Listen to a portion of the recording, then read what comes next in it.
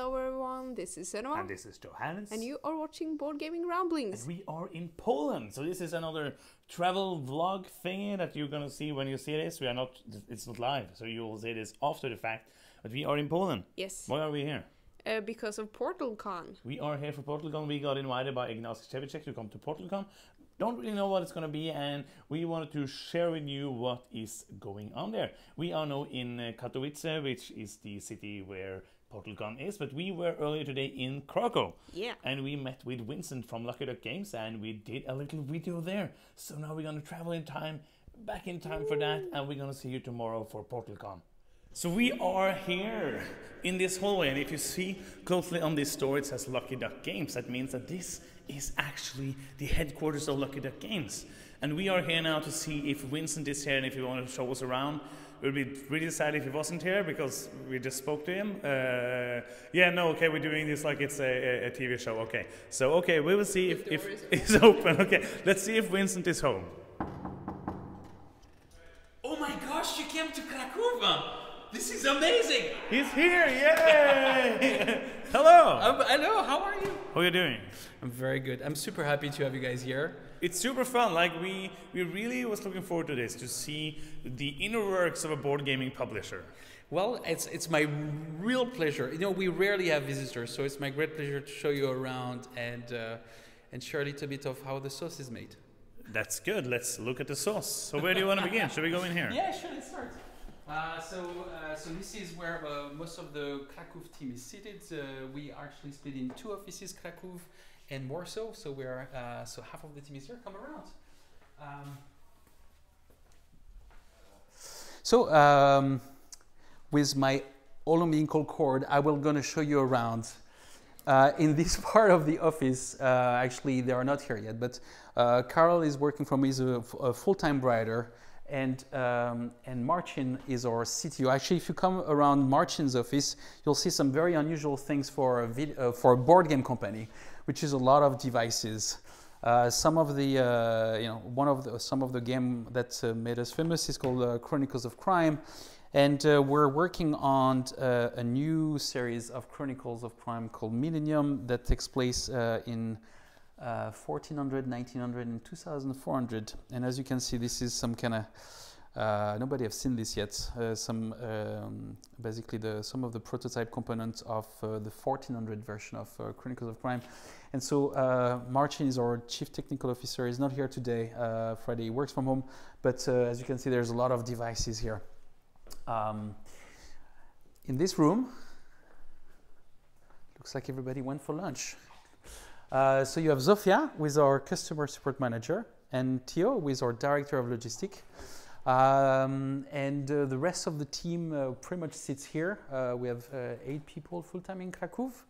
Um, and well, as you can see, it's a little bit messy because you know we make things, it's creative.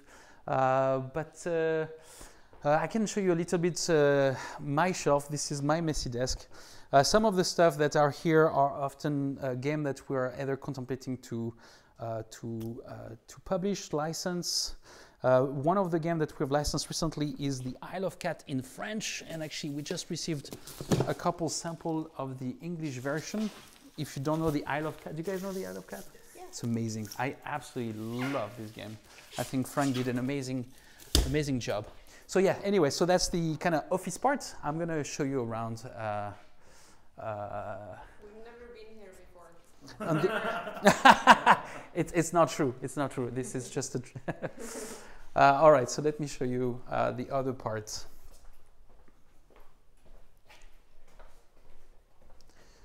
Um, so welcome to, uh, so this is our kind of support side and storage. So as a good publisher, we as, have a spare part of every board game we've published, and with the years, this uh, stuff grows.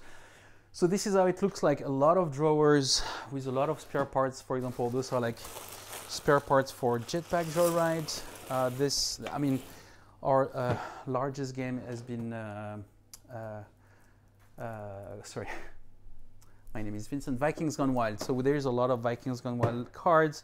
You also have some Chronicles of Crime mini cards. You have some some different uh, locations. Um, as I mentioned, it's uh, the assembly of a board game is always manual. It's never automated, and so people make mistake. And so we're always here to make sure people get replacement or when something get damaged. So this is. Uh, we have a bit of a storage also of, of, uh, of many of uh, other games but most of our games are stored in a warehouse. Uh, actually, we have five warehouses. We have a warehouse in Poland, Germany, France, US, and Canada. So uh, when it comes to a point where we really need to send a full game, then those are sent from those warehouses, not from here. Um, and if you come over here, uh, this is uh, basically our, the playroom.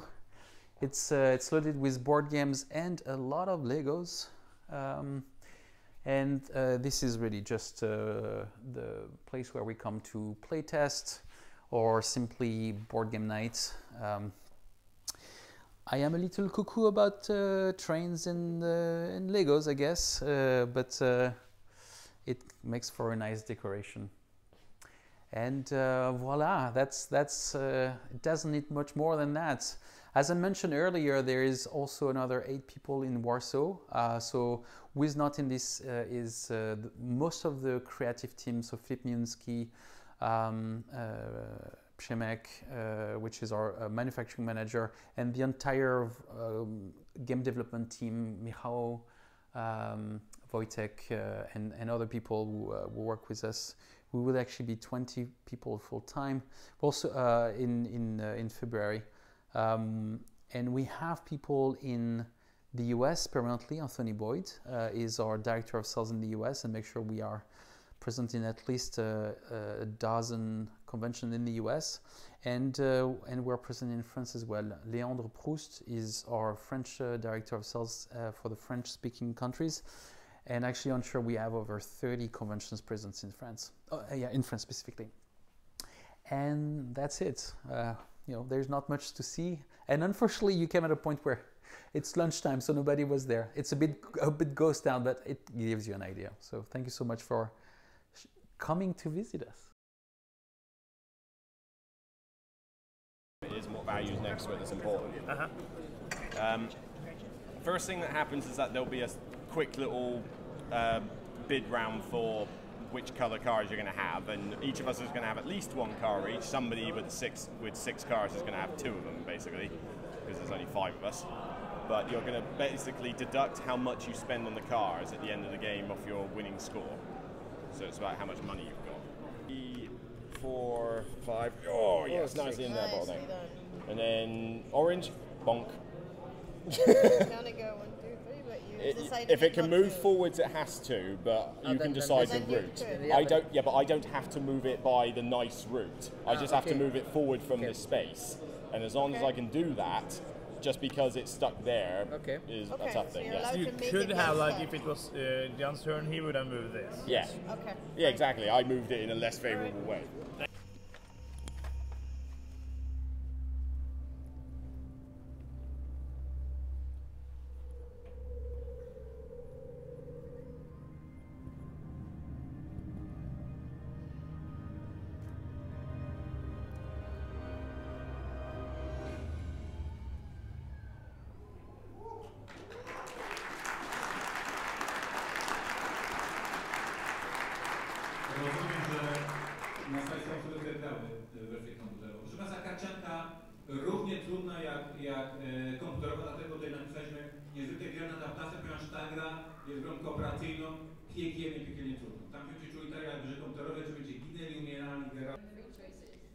Okay, so now we're in the press room and it looks quite good.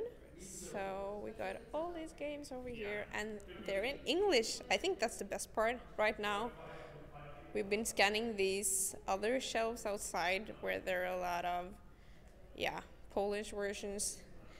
And we tried the the car game that I don't remember the name of, and we had to use like uh, the um, scanning camera thingy with the Google Translate to actually, yeah, understand what our special abilities was. But it, it was fun. And Luke uh, knew the game already, so he taught us. That helped a lot too. Eee.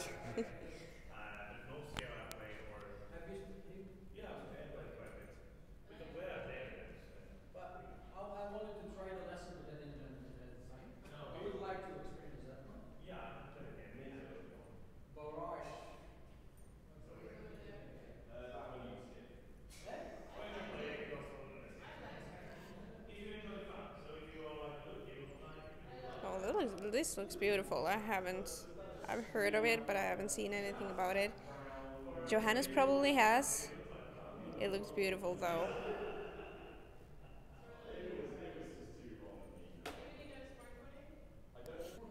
So this is our first year, but we are warned that this place is going to fill up. So we'll probably grab a space here and play something.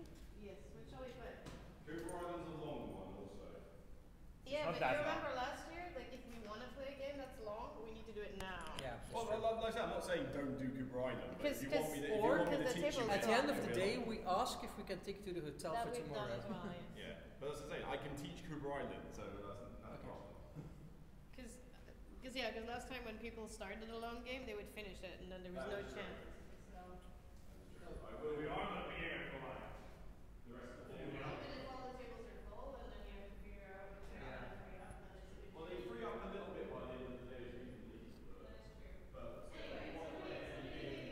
Well, that that doesn't make any sense, right? Because I can't do anything there.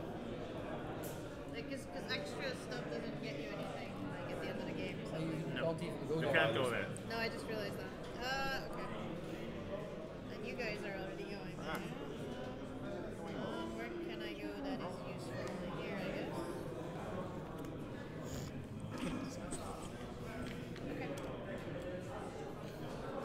We have some noise to prove that we are live here. We are these lucky people who were able to come to Poland to see in person the things that we have announced today. Mm, uh, and I'm very excited about the things we will present. So let's start the first trailer for today.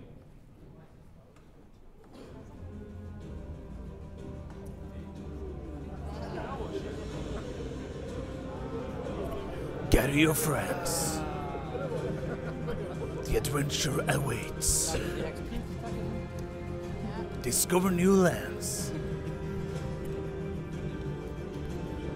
Reveal the mystery.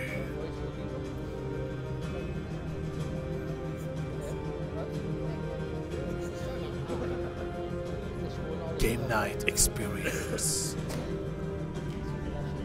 Immerse yourself in a mysterious plot.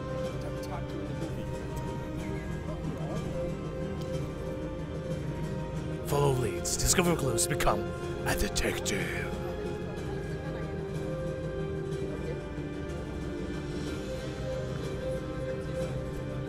Become a leader.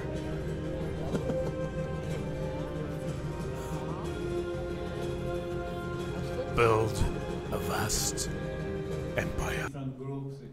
are easier, faster to finish, about two hours gameplay. You can pick any of these. Each of these cases has a very, very different theme. so you will have, uh, for example, a chance to visit Great Britain. And if you watch the movie called Knives Out, one of these cases is very, very similar. We have a mansion, we have an awesome, but this is basically what we offer you this year. Once again, lots of board games tell stories, new content for detective, new standalone game in the vein of detective, uh, epic Kickstarter for the Robinson Crusoe, and a lot of new decks, a lot of new decks for Empires of the North, and this amazing, amazing campaign for Imperial Settlers.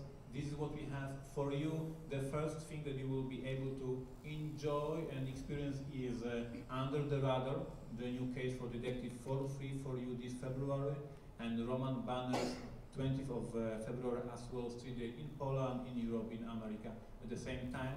Thank you open world campaign because you don't have to play with same players each game.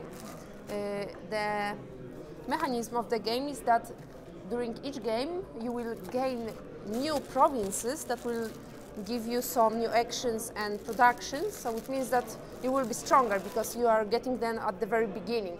So you don't need to spend resources in order to get them and you have them from the start. But you also have your provisions on the map and for those you will have to spend uh, resources in order to even be able to win the game. So uh, let's say I crossed out those during the previous game, so if in the next one I won't pay two apples during any time of my turn, so I just basically put them during uh, the game. And if I won't pay them, uh, like my score is zero at the end of the game. So you cannot win if you don't pay your villagers that you just gained. So even if the player ain't played that many games as the other ones, either though they have new provinces, so they are like more experienced, they also have higher costs of their empire. And we have three tracks here, which are connected with our quests during the game. And they are meant to be like a race. So the first player who will, uh, okay, here. They're double-sided because the first player to be able to accomplish the quest will gain more points of the uh, progress on the progress uh, which is military and uh, diplomacy I would say. The next one is administration and uh, economy. And the last one is culture and the science. So those are thematically uh, like um, set in common. Those are mostly about having gold and having uh, cards in the hands. It means like this uh, about having cards is administration part, but you also will have ones like heavier in supply. So this one is like more economic. So those are thematically mm, like built in into one section. When you will achieve them, you will cross out those sections uh, and uh, you also have the science and the cultural, which means uh, they will be like have the exact amount of some stuff. So like alchemy, this would could be named like alchemy. So you need to have resources of all kinds, and the first player to achieve that will gain three of these points, and uh, next players will only get one. And uh, one of these uh, missions of, each kind will be placed before all the players, and the first to achieve will also gain the bonus here. The first achieved, so you have more points here, and you also have this bonus, and then there is available for the rest of the players. And the thing here is that at the some points of this track, you will have bonuses. So let's say I should have okay. So let's say when I will reach the third space here, I will uh, be able to unlock, uh, let's say, the head start. And in the rule book, it will be like if you unlock this icon with the head start, start each next game with additional sword. And let's say if you will go from here to, let's say, here, and you will have this the dove and let's say you will gain the Dove token and you can place it on any of your buildings. And this building uh, when it will be raised you will get additional swords. So when you will unlock those goals with the missions you will also be able to use this additional like progress uh, of your faction for each next game. And as you can see there is also this new age statement. So when you will at any point go beyond the last space on the antique board, you will go to the medieval one. So it should be somewhere here. Okay. So as you can see, you will have the new board. So you lost all of your mm, provinces, so you don't have to pay more and you don't have uh, additional ones because the new era has arrived. Here you will have new skills uh, presented on those spaces. Those will be more powerful. And also, after each game, you will receive the number of, let's say, uh, I would say progress too, but it will have different wording like knowledge, for example. So for each point you gained during the game, you will get the same amount of this knowledge, and each player will be able to get one card of the same Eura. So we start with the antique, and we can access the antique cards, uh, which we will be able to buy with our progress. So let's say I gained uh, 60 points during the game, so I can buy all the cards, uh, and the one that will be left. So I bought the 55, so five will be left here for the next games, and those will stay with me even though I changed era. But I will also access the cards from the next category and they are also more powerful as well. So even though I will lose my provinces and also I won't have as many costs here because I lost them, I will be able to unlock better, uh, those are called inventions. So I will be able to invent something like cartography, not the wheel from the ancient times, something like the civilization vibe, something like that. And also those better bonuses on the, oh sorry, on the progress board here.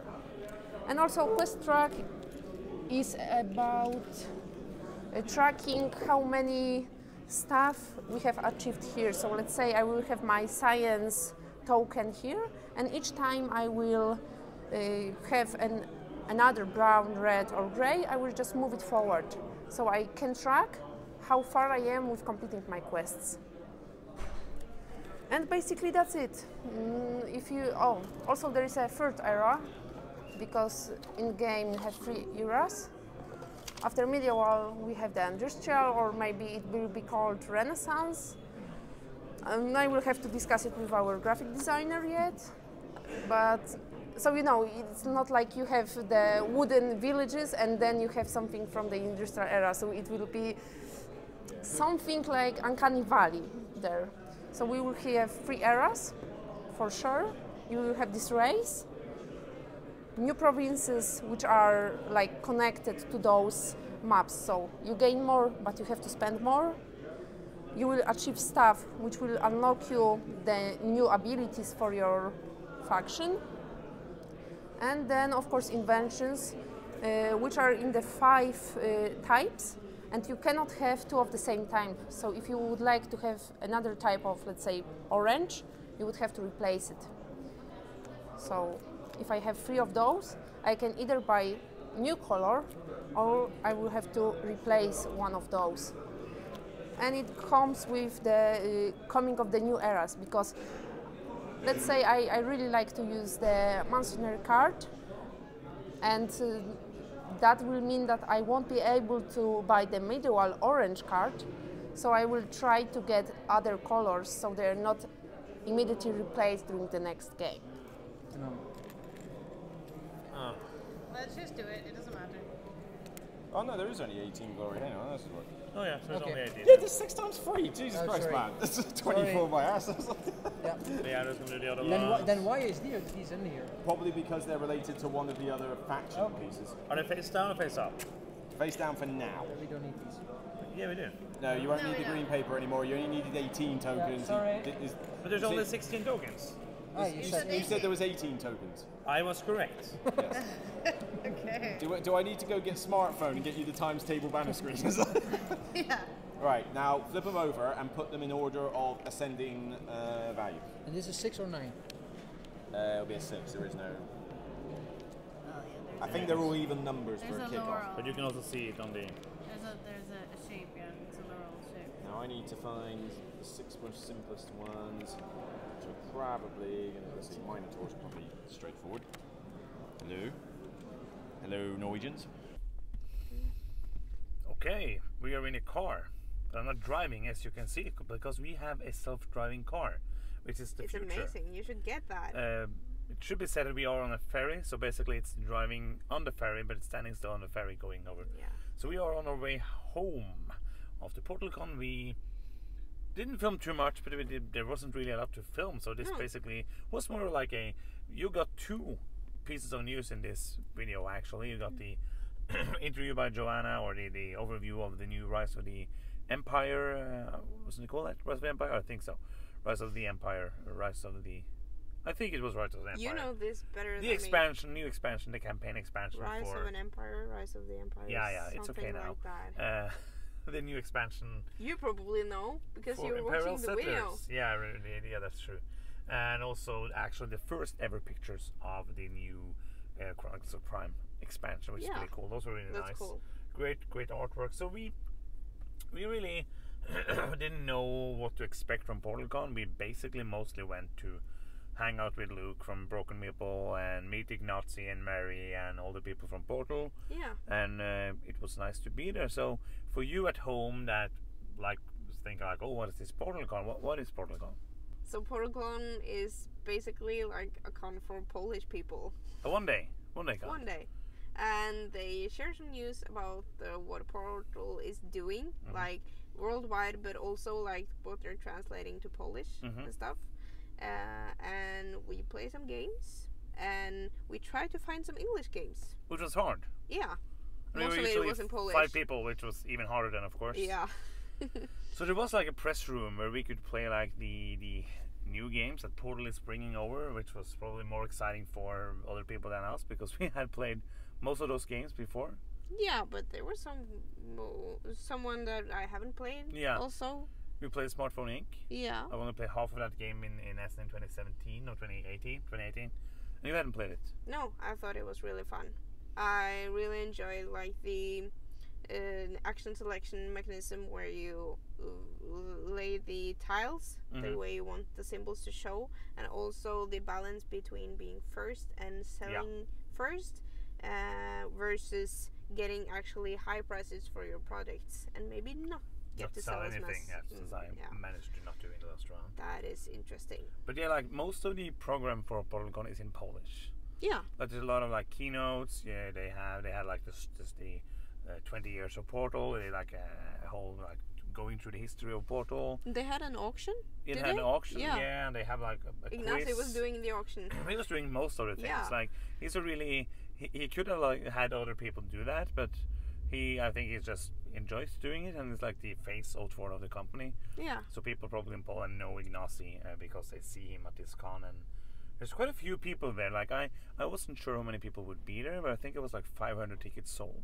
Oh, that's We'd also like a that's bit, more than I expected actually. about a hundred extra for like VIPs and um, uh, and press and, and everything. yeah.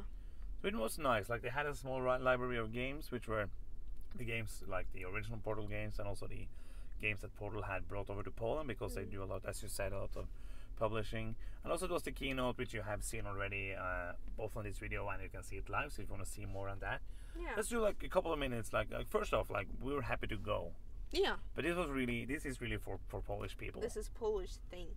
I don't think like as a normal board gamer, um, you would go here like if you don't speak Polish, or if you just if you love Portal games, like if you want to be the first in the world, not on the online to see the Hmm. the news and uh, and be able to It's more about meeting the people for us. yeah yeah Uh, absolutely. because there's such lovely people in Mhm. the board game industry, and uh, we love it. And also, next time uh, we want to bring our own games if there isn't more for English people. yeah, but it was like uh, it, we could have played more in the press room. We yeah, just- we could if we really wanted to play more games, we Yeah, could have yeah. played more games there. So it, easily. there was enough games, enough room, and enough tables, so it wasn't Mm. really a problem that way. No, it wasn't. But I feel like like it, um, yeah, it's not going to be an interesting con to go for if you don't speak Polish or if you're not press, basically, because you will only have a, a library of Polish games. Yeah, that's true. Oh, lights are coming on. That means that we Yeah. are soon going to the port, into the harbor. Or the dock, The as docks. someone commented. We which know is what what's it is called in- now. In, in, that video, is a callback to another video we probably haven't seen. It's it's a Rambling Reviews 3. Go and see it for that connection if you need that. It's the you overarching. don't need it. You don't no, need it's it the in your overarching life. story arc of Wargaming Yeah, Ramblings. it's important. But yeah, we we saw a couple of the the new games that you might have already seen on uh, online. Uh, there's new stuff for Detective, which we love. Oh, we're so happy for that. We are like in the middle of the LA campaign. Yeah, Um, we need to finish that. we do because there's like a new scenario for that, which Yes. concludes that uh, campaign. I'm so excited for more Mhm. detective stuff. But the, the thing they've changed now is that everything's coming out the- this year is standalone. What do you feel about that?